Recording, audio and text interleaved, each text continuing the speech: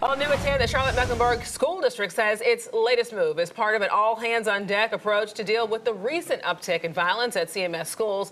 Fox 46's Will Lewis explains tonight what the district plans to do to protect students.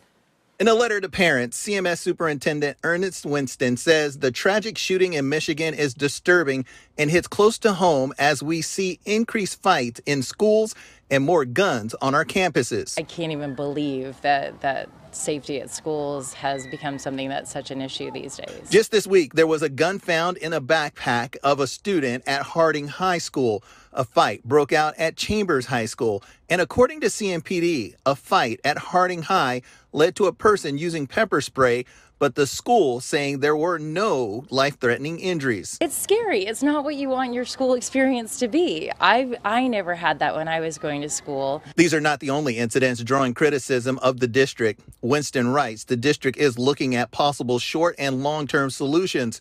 One measure will be having high school students carry clear backpacks. CMS has ordered them, but the delivery is delayed until February 2022. I know some people have, may have a different opinion as far as the privacy or whatever, but I think that kind of comes along with the turf when you're dealing with trying to get something like that under control. CMS is also establishing a tool for middle school and high school students to report anonymously, even though the district hasn't clarified reporting what.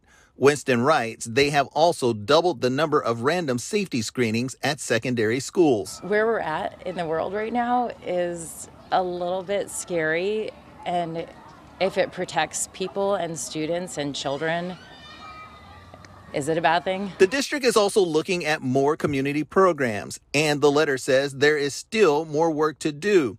The letter also notes the district has spoke with companies regarding metal detectors to determine the next steps and says addressing this crisis is a top priority. Will Lewis, Fox 46.